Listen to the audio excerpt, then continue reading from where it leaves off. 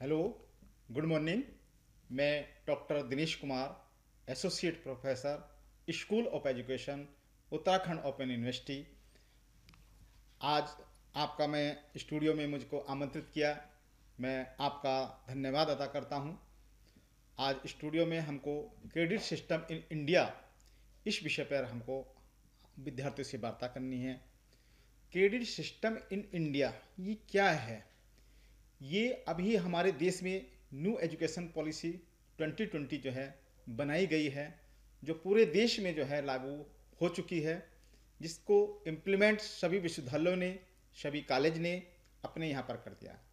जो higher education है, इसमें एक क्रेडिट सिस्टम व्यवस्था की गई है ए अब ये ए क्या है? एकेडमिक बैंक क्रेडिट इसकी हमको क्यों ज़रूरत है? क्योंकि academic bank credit is compulsory for today time for the students क्योंकि एकेडमिक बैंक क्रेडिट के आधार पर ही बच्चा किसी विश्वविद्यालय में प्रवेश पाएगा। यदि उसको अन्य विश्वविद्यालय में प्रवेश लेना है तो क्रेडिट सिस्टम बहुत महत्वपूर्ण है। क्रेडिट सिस्टम के पास में जो है, आधार पर वो अपना विश्वविद्यालय में प्रवेश ले पाएगा। अब क्रेडिट सिस्टम होता क्या है? जैसे पहले असेसमेंट होता था। असेसमेंट के आधार पर बच्चों का मूल्यांकन किया जाता था। उस मूल्यांकन के आधार पर हम उस बच्चे का जो है एक रिज़ल्ट घोषित करते थे, परीक्षा परिणाम घोषित करते थे। उसी प्रकार से एकेडमिक बैंक क्रेडिट सिस्टम ये विश्वविद्यालय स्तर पर जो है बनाया गया, जिसमें प्रत्येक विद्यार्थी का एक एकेडमिक बैंक क्रेडिट बनाया गया। उस क्रेडिट में विद्यार्थी को अपना एक जो पूरे सेमेस्टर का क्रेडिट होता है, उस क्रेडिट को उसमें उसको कलेक्ट करना है। और उसके आधार पर यदि वह विद्यार्थी छः महीने में उसको जो है बीस क्रेडिट का जो है एक क्रेडिट होता है, उसको उसको कंप्लीट करना है, उसके बाद उसको बीस क्रेडिट और करने हैं, जब वो चालीस क्रेडिट अर्न कर लेगा, तब उसका एक वर्ष पूरा माना जाएगा। बहुत से विद्यार्थी इस तरीके होते हैं कि वो अपनी आगे की परीक्षा जो है पढ़ाई नहीं करना चाहते हैं। हो सकता है वो किसी जॉब में हो हो सकता है उनकी पारिवारिक स्थिति हो सकता है वो आगे किसी उनको जॉब लग रहा टेक्निकल एजुकेशन वो ले रहे हों। तो यदि बच्चा इस बीच में विड्रॉ करना चाहता है तो उसको ये एकेडमिक बैंक क्रेडिट के आधार पर जो उसने 40 क्रेडिट मार्क्स गेन किए हैं, उसको हम एक सर्टिफिकेट कोर्स जिसको हम बोलते हैं, वो उसको प्रदान किया जाएगा। ये विश्वविद्यालय के द्वारा उसको प्रदान किया जाता है। यदि वह विद्यार्थी आगे पढ़ना चाहता है तो उसको पुनः जो है फिर सेमेस्टर वाइज सिस्टम में फिर उसको ट्वेंटी क्रेडिट करना पड़ेगा, फिर अगले छः महीने में चार क्रेडिट में उसको जो है, अस्सी क्रेडिट जो है उसको गेन करना पड़ेगा। यदि वह विद्यार्थी दो वर्ष के बाद अर्थात चार सेमेस्टर के बाद कहीं अन्य शिक्षा प्रदान प्राप्त करने जाना चाहता है तो उसको हम एक डिप्लोमा सर्टिफिकेट दे करके उसके अंदर इतना स्किल हो जाएगा जो हमारी न्यू एजुकेशन पॉलिसी बनाई गई है। इस न्यू एजुकेशन पॉलिसी में ये बहुत स्पष्ट है कि प्रत्येक बच्चे को कौशल शिक्षा प्रदान कीजिए। हमारे माननीय प्रधानमंत्री जी ने जो है, स्किल एजुकेशन पर बात की गई है, स्वरोजगार की वो बात कर रहे हैं, रोज़गार की बात कर रहे हैं। अर्थात ऐसा नहीं है कि जो हमारी डिग्री हैं, वो केवल हमको सरकारी नौकरी प्राप्त करने के लिए दी जा रही है, बल्कि अब न्यू एजुकेशन पॉलिसी में इस प्रकार की शिक्षा प्रदान की गई बच्चा जो है अपनी पढ़ाई के साथ साथ वो ऐसा एजुकेशन ले, ऐसा कौशल विकास करे ऐसी एजुकेशन प्राप्त कर सके जिससे कि वो जॉब प्राप्त कर सके। तो ये एकेडमिक बैंक क्रेडिट सिस्टम में आरंभ की गई है। अब ये एकेडमिक बैंक क्रेडिट सिस्टम जो है, ये बनाया किसने है? तो ये जो है एक संस्था है, जिसको हम बोलेंगे national academic deposition depository N तो ये एनएडी क्या है? NAD is the backbone of the A B C A B C enables students to register जैसे कि आपने देखा होगा कि इसमें जो है स्टूडेंट्स, प्रत्येक स्टूडेंट्स को जो है अपना एक एकेडमिक बैंक क्रेडिट जो है उसको बनाना है, उसको खाता बनाना है। जिस प्रकार से हमारे बैंक में जो है हमारा खाता होगा, होता है, हम उसमें लेन देन करते हैं तो उसी प्रकार से विद्यार्थी को भी अपना एकेडमिक बैंक क्रेडिट बनाना होगा। उस बैंक क्रेडिट के आधार पर जो उसने क्रेडिट गेन किए हैं, ये गेन जो है के आधार पर उसके खाते में जुड़ते चले जाएँगे। और ये प्रत्येक विद्यार्थी को जो इसको कंपलसरी करना होगा। दूसरा ये है कि एकेडमिक बैंक क्रेडिट की हमको क्यों ज़रूरत है? आपने देखा होगा कि जैसे आप जो है डुअल एजुकेशन की बात कर रहे हैं। एक विद्यार्थी एक साथ जो है दो दो विश्वविद्यालय में शिक्षा प्राप्त कर सकता है, दो डिग्रियाँ वो एक साथ ले सकता है। और दो डिग्रियों के साथ साथ ये ज़रूरी है कि जिस विद्यार्थी ने जो अपना उसका जो पैतृक यूनिवर्सिटी है उस पैतृक यूनिवर्सिटी में उसको 50 परसेंट क्रेडिट कर, अर्न करना आवश्यक है। उसके बाद जो दूसरी यूनिवर्सिटी है हो सकता है फॉरेन की यूनिवर्सिटी हो सकता है वो हमारे देश की जो विख्यात यूनिवर्सिटी है उसमें एडमिशन लेगा हो सकता है वो एक डिस्टेंस मोड में हो डिग्री ले रखा ले रहा है या फिर वो सर्टिफिकेट कोर्स कर रहा है डिप्लोमा कर कर रहा है लेकिन उसके लिए यदि डिग्री प्राप्त करना तो 50 परसेंट कोर्स उसको अपने जो पैतृक जो यूनिवर्सिटी है वहाँ से प्राप्त करना ज़रूरी है। 30 परसेंट जो है बाकी दूसरी यूनिवर्सिटी वहाँ से उसको कंपलसरी ये उसको करना है। तो ये क्रेडिट सिस्टम है जिसमें जो है उसको अपना जो है क्रेडिट को जो है तैयार करना है। और ये क्रेडिट हमारे कितने वर्षों तक रहता है ये क्रेडिट हमारे जो है सात वर्षों तक उस क्रेडिट को जो है वो अपने खाते में रख सकता है अर्थात उसको सात वर्ष तक उसमें उसको अपडेट करना। हो सकता है जैसे बच्चे ने एक साल के बाद अपनी जो है सर्टिफिकेट के बाद में उसको लगा कि दो साल के बाद, नहीं, मुझे जो है अभी डिग्री लेनी है। तो उसका एक क्रेडिट निश्चित है। उस क्रेडिट निश्चित के आधार पर उसको हम प्रवेश देंगे और उसको अपनी आगे की डिप्लोमा लेना चाहता है डिग्री लेना चाहता है रिसर्च डिग्री लेना चाहता है तो ये डिग्री वो वहाँ से प्राप्त कर सकता है। उसके खाते के आधार पर जो क्रेडिट उसमें गेन किया है। तो ये बहुत ही महत्वपूर्ण है उस विद्यार्थी के लिए। और एकेडमिक क्रेडिट की कुछ कैरेक्टरिस्टिक्स भी हैं, जिसको हम कह सकते हैं कि ये हमारे लिए क्यों महत्वपूर्ण है। ये एक जो है, हमको नेशनल लेवल पर जो है फैसिलिटी प्रोवाइड करा रहा है।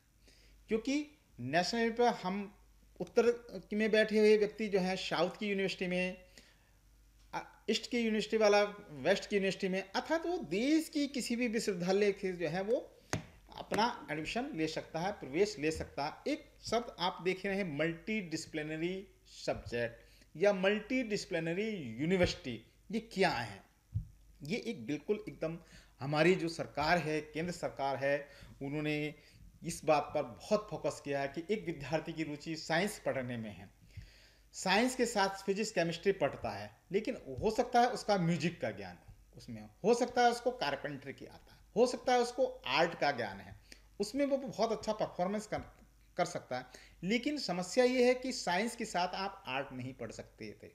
आप म्यूज़िक नहीं कर सकते थे, आप क्राफ्ट का काम नहीं कर सकते थे, आप दूसरा ऐसे आर्ट से संबंधित विषय नहीं पढ़ सकते थे, या आर्ट का विद्यार्थी है हो सकता है आर्ट वाले विद्यार्थी जो हम, जो political science history sociology education हम पढ़ रहे हैं तो बच्चा हो सकता है मैथ में बहुत अच्छा है। हो सकता है उसका फिजिक्स बहुत अच्छा है। तो यहाँ पर मल्टी डिसिप्लिनरी जो सब्जेक्ट्स हैं, ये फैसिलिटी प्रोवाइड कराता है हमारा जो न्यू एजुकेशन पॉलिसी है इसके अंतर्गत। और multidisciplinary subject multidisciplinary यूनिवर्सिटियाँ आप एक यूनिवर्सिटी के साथ साथ दूसरी यूनिवर्सिटी में भी जो है, प्रवेश प्राप्त कर सकते हैं और उस प्रवेश के आधार पर जो है हम बच्चे का जो है क्रेडिट जो है इकट्ठा करता रहता अब ये दूसरा है कि जो बच्चे की जो मोबिलिटी है, वो हो सकता है उसको कुछ समय के लिए उस पैतृक यूनिवर्सिटी में अपने जो क्रेडिट है उसको कलेक्ट करना होगा। कुछ समय उसको जो है दूसरी यूनिवर्सिटी में भी अपने उसको कलेक्ट करना हो ये हमारी जो है ग्रेजुएशन लेवल से लेकर के आपकी हायर एजुकेशन तक जो है इसको करना होगा। तो ये बहुत ही महत्वपूर्ण है। उसके साथ साथ जो है, हमने, आप देखते हैं कि पहले विद्यार्थी सिर्फ़ जो है, परीक्षा ही देता था, लेकिन अब उस परीक्षा के साथ साथ उसको बहुत सारे जो है फ़ील्ड वर्क उसको करना होगा, उसको आउटटीच उसको करनी आउटटीच एक्टिविटीज़ उसको करनी होंगी, प्रोजेक्ट वर्क उसको करना होगा, वोकेशनल ट्रेनिंग उसको करनी होगी। तो ये कहीं ना कहीं हमारी एजुकेशन में एक बड़ा बदलाव आ रहा है। आप देखेंगे यदि डिस्टेंस एजुकेशन की हम बात करें तो डिस्टेंस एजुकेशन आज अपना क्षेत्र बढ़ा रही आज डिस्टेंस एजुकेशन के माध्यम से हम विद्यार्थी को उसके घर पर बैठ करके जो है उसका इनरोलमेंट एडमिशन कर रहे हैं। एडमिशन हो रहा है, उसके घर के पास ही जो है, घर पर हम अपने उसकी जो है एशरम उसको पहुँचाया जा रहा है। घर के नज़दीक ही जो है, उसको फैसिलिट किया जा रहा है, उसको असाइनमेंट जमा करने के लिए उसको सेल्फ मटेरियल वहाँ पर मिल रहा है, उसको एग्ज़ाम सेंटर उसके घर के पास मिल रहा है। तो ये सारी चीज़ें जो हैं अब न्यू एजुकेशन पॉलिसी में हो रही है। और इसके लिए क्या है, जो हमारा एकेडमिक बैंक क्रेडिट है, ये सारी एक्टिविटीज़ उसमें काउंट होती है, उसके आधार पर उसका जो है क्रेडिट कलेक्ट होता है। और उसको जो है प्रत्येक 40 क्रेडिट जो है एक वर्ष में अर्थात दो सेमेस्टर में उसको करना आवश्यक होता है। यदि उसको ग्रेजुएशन की डिग्री लेनी है तो आप ग्रेजुएशन में उसको कम से कम छः सेमेस्टर को जो है पास करना होगा, क्योंकि अब जो है चॉइस बेस्ड क्रेडिट सिस्टम पूरे देश में लागू है। प्रत्येक यूनिवर्सिटी को सेमेस्टर सिस्टम के आधार पर करना है। इस सेमेस्टर सिस्टम का मतलब ये है, क्योंकि ताकि विद्यार्थी जो है अपनी एजुकेशन से हमेशा लगा रहे, उसमें अपडेट रहे जिसके आधार पर उसको तीन वर्ष तक अर्थात छः सेमेस्टर के बाद उसको 120 क्रेडिट करने के बाद हम उसको बैचलर की डिग्री प्रदान कर कर देते हैं। दूसरा ये है कि यदि वो रिसर्च डिग्री करना चाहता है, फोर ईयर डिग्री करना चाहता अर्थात उसका सीजीपी जो है सेवेंटी परसेंट है तो हम उसको आगे ऑनर्स विद रिसर्च की डिग्री उसको प्रदान करेंगे। किस आधार पर करेंगे? उसके क्रेडिट के आधार पर करेंगे। क्या उसने 160 क्रेडिट उसने गेन कर लिए यदि उस उन क्रेडिट को नहीं कर पाता, या मान लीजिए हो सकता है उसके असाइनमेंट में प्रोजेक्ट वर्क में, उसके वाइबा में, उसने फ़ील्ड वर्क में, इन सारी चीज़ों में कहीं ना कहीं उसको छूट गया तो वो मानक उसको पूरा करना पड़ेंगे, वो एक्टिविटीज़ उसको पूरा करना पड़ेंगे। देखिए, जहाँ तक क्रेडिट सिस्टम की बात है तो क्रेडिट जो है, ये अगर बात करें तो ये प्री प्राइमरी एजुकेशन से लेकर के हायर एजुकेशन तक हैं। हमारी जो यदि हम बात करें हायर एजुकेशन तो ये क्रेडिट फाइव से आरंभ होता है। यदि एलिमेंट्री की बात करें तो क्रेडिट वन जो है स्कूल लेवल पर होता है। क्रेडिट टू जो है रीड एंड राइट लेवल पर होता है। क्रेडिट थ्री जो है, ये आपका class eight to ten class तक होता है। Level four class ten to twelve ये हमारी रही बात प्री प्राइमरी से लेकर के सेकेंडरी एजुकेशन की अब हम बात करते हैं हायर एजुकेशन की। तो हायर एजुकेशन हमारा कहाँ से आरंभ होता है? हमारा हायर एजुकेशन आरंभ होता है लेवल फाइव से। अर्थात लेवल फाइव से हम अंडर ग्रेजुएट जो हमारे कोर्स हैं, हमारे जो सर्टिफिकेट प्रोग्राम शुरू होता है, उसमें फ़र्स्ट ईयर में जो है उसको, या टू सेमेस्टर की जो हमने अभी बात की है, उसको फोर्टी क्रेडिट के बाद हम उसको लेवल फाइव में उसको रखेंगे। लेवल सिक्स की बात करते हैं तो अंडर ग्रेजुएट डिप्लोमा जो है वो गेन करेगा। उसको जो है ये फोर सेमेस्टर उसको कंप्लीट करने के बाद हम उसको लेवल सिक्स देंगे। लेवल सेवन की बात यदि हम करें तो उसको बैचलर डिग्री में 120 मार्क्स जो है 120 क्रेडिट का जो है कंप्लीट करने के बाद बैचलर डिग्री उसको प्रोवाइड की जाएगी। लेवल आठ की यदि हम बात करते हैं तो अभी बात हमने किया कि रिसर्च डिग्री अर्थात बैचलर डिग्री इन रिसर्च में यदि बात करें तो उसको 160 क्रेडिट का उसको करना कंप्लीट करना पड़ेगा। दूसरा बहुत सारे विद्यार्थी ऐसे होते हैं जो हमारी मास्टर डिग्री में प्रवेश पा जाते हैं, लेकिन हो सकता है वो दो सेमेस्टर के बाद जो है वो क्लास को छोड़ दें या आगे की पढ़ाई जारी ना रख पाएँ। तो ऐसे बच्चों को जो है 40 क्रेडिट का कंप्लीट करने के बाद हम उसको पोस्ट ग्रेजुएशन डिप्लोमा प्रदान करेंगे। और टू इयर्स का जब वो कंप्लीट कर लेता है अर्थात 80 क्रेडिट वो प्राप्त कर लेता तब हम पोस्ट ग्रेजुएशन डिग्री उसको प्रदान करेंगे। ये सारी डिग्रियाँ हम क्रेडिट के आधार पर हों। क्रेडिट आज के समय में बहुत ही विद्यार्थियों के लिए महत्वपूर्ण हो। इसलिए सभी विद्यार्थी जो हैं, इसमें क्रेडिट सिस्टम जो है, अपना अकाउंट कंपलसरी कर दिया है। सभी विश्वविद्यालय जो प्रवेश ले रहे हैं, उसमें विद्यार्थी के लिए क्रेडिट सिस्टम में अपना अकाउंट खुलवाना अति आवश्यक है। दूसरा ये है कि जो डॉक्टरेट डिग्री है, वो डॉक्टरेट डिग्री आपकी टेन में आती है टेन में जो बच्चा जब जो है बहुत पीएचडी करेगा, अर्थात वो रिसर्च वर्क करेगा, उसके आधार पर हम उसको पीएचडी की डिग्री प्रदान करेंगे। और मास्टर डिग्री उन बच्चों के लिए होते क्रेडिट नाइन जिन्होंने four year graduation with honours in research में किया है, ऐसे विद्यार्थी को हम जो है मास्टर डिग्री में यदि वो प्रवेश लेता तो क्रेडिट लेवल नाइन उसको हम जो है कहेंगे। तो ये सारे सिस्टम एक लेवल एक बना दिया गया कि आप किस लेवल में इस समय जो है काम कर रहे हैं। तो उसी प्रकार से जो है चॉइस बेस्ड क्रेडिट सिस्टम है, जिसमें आपने देखा कि बीच में हर कोर्स को जो है इस तरीके से डिज़ाइन किया गया था। लेकिन उसके बाद अब न्यू एजुकेशन हमारी पॉलिसी आई है। न्यू एजुकेशन पॉलिसी में जो है उसमें कंपलसरी कर दिया गया है कि इसको सेमेस्टर सिस्टम के आधार पर लागू किया जाए। इसमें जो हमारी न्यू एजुकेशन पॉलिसी में जो करिकुलम है, उसके आधार पर बड़ा परिवर्तन देखने को मिल रहा है। स्किल बेस पे सबसे ज़्यादा जो है फोकस किया गया है ताकि विद्यार्थी जो है अपना एजुकेशन लेने के बाद वो खाली घर पर न बैठा रहे, अर्थात अपने परिवार के ऊपर, अपने समाज के ऊपर वो बोझ न बना रहे। तो इस ये क्रेडिट सिस्टम इसलिए लागू किया गया है। अब बात करते हैं कि कितने हावर्स को हम जो है थ्योरी में देंगे, कितने जो है प्रैक्टिकल में देंगे, कितने लेबोरेटरी में देंगे। तो यहाँ पर जैसे कम से कम a one hours of theory one hours of the tutorials या ये बोलेंगे two hours for laboratory hours for week in semester अर्थात तेरह से पंद्रह वीक जो है उसको एक सेमेस्टर के लिए, अर्थात 90 टीचिंग डे उसके लिए कंपलसरी हैं एक विद्यार्थी को ये प्राप्त करने के लिए तो अपनी डिग्री को प्राप्त करने के लिए, अर्थात 90 डिग्री 90 जो टीचिंग डे हैं, उसको एक सेमेस्टर के लिए कंपलसरी होता है। जैसे बहुत सारी हमारी बीएड की हो या दूसरे प्रकार के जो पाठ्यक्रम हैं, उसमें बच्चे को जो है इतनी उपस्थिति उसको देनी है। यदि वो इतनी उपस्थिति नहीं दे पाता तो कहीं ना कहीं उसके क्रेडिट में जो है प्रॉब्लम होने की संभावना रहेगी।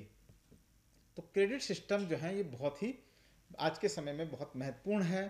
अब इसमें यदि बात हम करते हैं कि क्रेडिट सिस्टम हर व्यक्ति के लिए क्या आवश्यक है? हाँ निश्चित रूप से हर व्यक्ति के लिए क्रेडिट सिस्टम जो है बहुत आवश्यक है। अब इसका क्रेडिट सिस्टम को हम किस तरीके से, जो हमारे मार्क्स होते हैं, हमने कितने परसेंट जो है उसको मार्क्स को जो है प्राप्त किया है, उसको मल्टीप्लाई, जैसे आपने देखा कि हमने, बच्चे ने जो है पाँच सौ में से उसने मार्क्स किए तो उसको हम जो गेन मार्क्स किए टोटल मार्क्स कितना है, उसको मल्टीप्लाई और फिर मल्टीप्लाई हंड्रेड से उसको हम लोग करते हैं। इसी प्रकार से जो टेन पॉइंट स्केल की बात अब की गई है टेन पॉइंट स्केल पर बच्चे का रिज़ल्ट जो है तैयार किया जाए। सपोज़ एग्ज़ाम्पल के तौर पर यदि मान लीजिए 90 टू 95 बच्चे ने गेन किया तो उसको हम 9 परसेंट का जो है सीजीपी के आधार पर उसको क्रेडिट पॉइंट हम लोग उसको कहेंगे। तो ये बहुत ही महत्वपूर्ण है।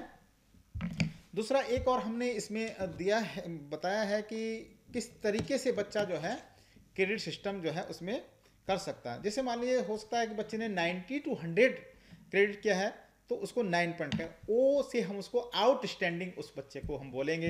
दूसरा 80 से 89 80 टू 89 अगर उसने किया है तो 8.9 हम उसको बोलेंगे। इसको हम कह सकते हैं कि बच्चे ने जो है बहुत एक्सलेंस स्टूडेंट्स था। इसी तरीके से हम 90 से लेकर के 50 60 परसेंट जो बच्चे ने गेन किया है, उसके मानक के आधार पर हम ओ ई ए बी अर्थात वो आउटस्टैंडिंग है, वो एक्सीलेंस है, वो वेरी गुड है, वो गुड है।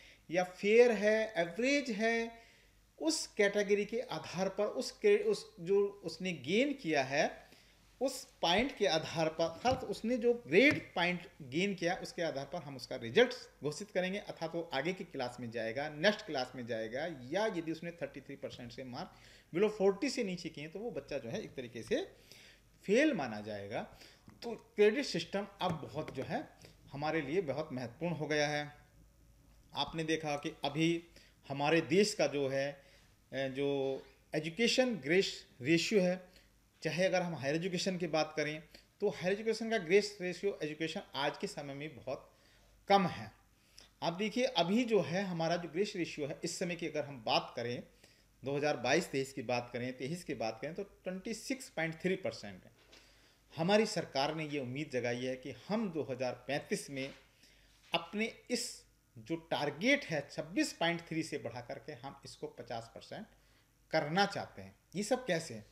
मुझे लगता है कहीं ना कहीं इस ग्रोस जो रेशियो है, जो एजुकेशन ग्रोस इनरोलमेंट रेशियो है, जो एजुकेशन का जो रेशियो बढ़ रहा है, इसमें सबसे महत्वपूर्ण भूमिका डिस्टेंस एजुकेशन या डिस्टेंस यूनिवर्सिटी के जो ओपन यूनिवर्सिटियाँ हैं, इसका बहुत बड़ा रोल होने जा रहा है। और इसमें अधिकतर विद्यार्थी जो हैं ओपन यूनिवर्सिटी के माध्यम से जो हैं शिक्षा प्राप्त कर रहे हैं। कहीं ना कहीं हर विद्यार्थी ओपन सिस्टम की तरफ़ दौड़ रहा है क्योंकि यहाँ पर हम अर्न विद एजुकेशन और एजुकेशन विद अर्न की बात हम लोग इसमें कर रहे हैं। आज जो है देश में बहुत सारे विश्वविद्यालय लगातार खुल रहे हैं, देश में बहुत सारे कॉलेज खुल रहे हैं जगह जगह अनेक संस्थाएँ खुल रही हैं। इन सब का उद्देश्य यही है कि हमारे देश का प्रत्येक नागरिक शिक्षित हो, प्रत्येक बालक जो हैं स्कूलों में इनरोल्ड होना चाहिए, कोई भी विद्यार्थी बाहर नहीं होना चाहिए घर से बाहर, इसलिए हमारी सरकार निरंतर प्रयास कर रही है।